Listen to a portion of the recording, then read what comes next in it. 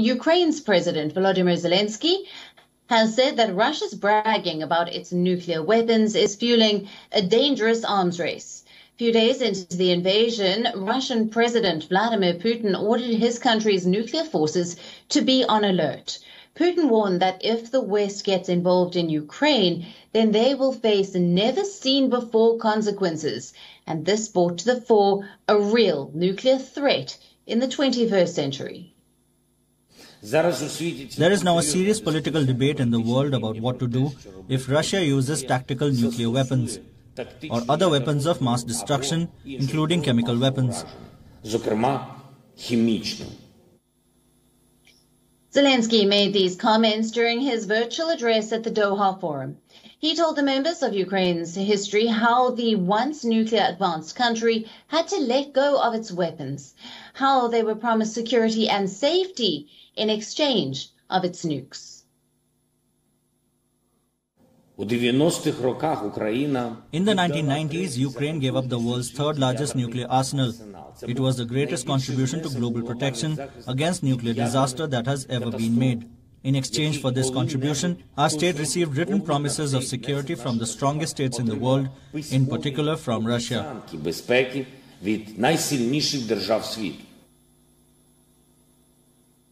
Ukraine once had the world's third largest nuclear arsenal. It inherited them from the Soviet Union, but Kiev had to give them up. In 1994, Ukraine joined the Treaty of the Non-Proliferation of Nuclear Weapons. Ukraine entered as a non-nuclear weapons state, which meant Kiev had to transfer all its nuclear warheads to Russia. It also had to dismantle its strategic delivery vehicles. In 1996, Ukraine gave up its last nuclear warhead. In 2001, its last missile silo was demolished. Russia, on the other hand, has approximately 6,000 nuclear warheads, the largest stockpile of nuclear weapons in the world. Its nuclear capacity makes Russia a force to be reckoned with. The sheer number of nuclear warheads available globally becomes even more terrifying when looking at how swiftly they can be launched. I think it barely matters where the weapons are located, and it almost barely matters the, uh, the details. They have over 2,000 operationally deployed warheads, and that is enough to inflict totally unprecedented damage on a global scale. Uh, it's, it's beyond what is imaginable. For more insight on this, we are being joined live by Russian affairs expert Fred Weir from Moscow. Good evening to you, Fred. Thank you for being with us.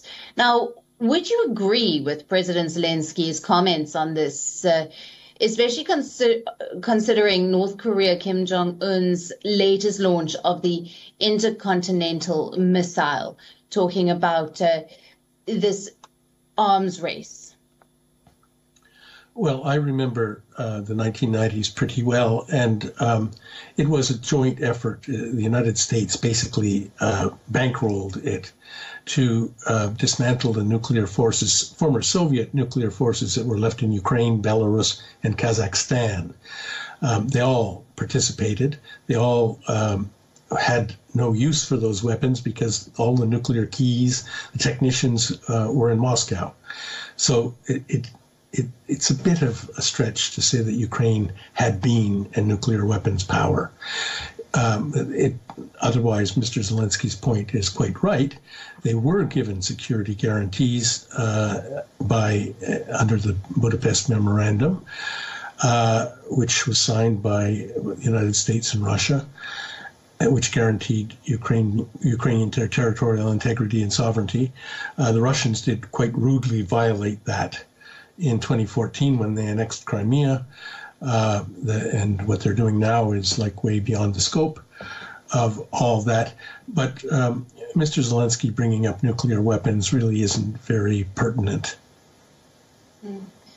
We know that Russia has the world's largest stockpile of nuclear weapons, and some world leaders believe Putin to be nuclear volatile. Putin has warned that if the West gets involved in Ukraine, then they will face never seen before consequences. What are your thoughts on this? Yes, I was in a on a talk show last night, um, not not on your network, where the announcer kept saying that Russia is threatening to use nuclear weapons. Um, it's my very job description to follow everything that comes out of Russian institutions like the Kremlin and the Defense Ministry, and they are not doing that. They're not threatening to use weapons of mass destruction in Ukraine.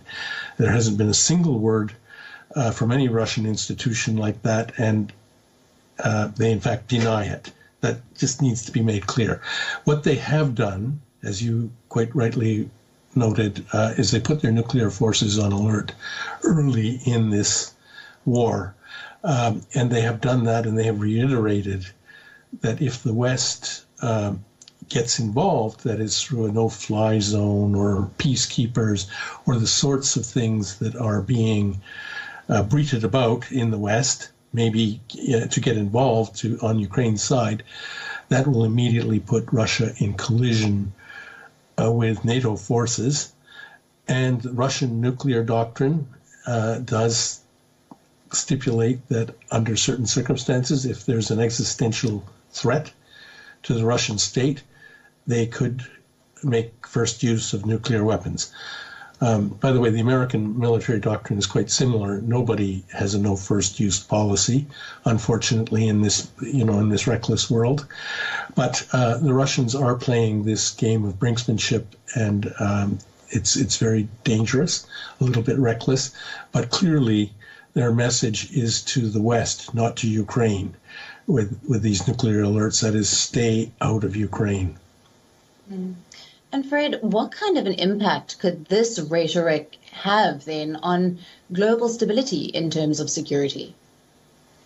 Oh, I think this this war is is a disaster on every level. Uh, however, it turns out in, in Ukraine, Europe European security is already deeply undermined. Uh, Russia has been driven into pariah state status, and that's not good um, it, it, will be a long time clawing its way back to any kind of global uh, position. Uh, and, and therefore, uh, Russia will remain uh, not predictable place. I live here and I'm deeply worried about that. Uh, but also the, the realignment of, of global you know, powers. Uh, you know, we did not get away from the American unipolar moment, uh, and other powers are coming in out, like China and India, Brazil. These countries um, are are are having to take sides, having to to um, deal with this turmoil, and it's going to change seismically, change the whole world mm-hmm. order. Absolutely, Fred. Thank you very much for your valuable insights on the latest.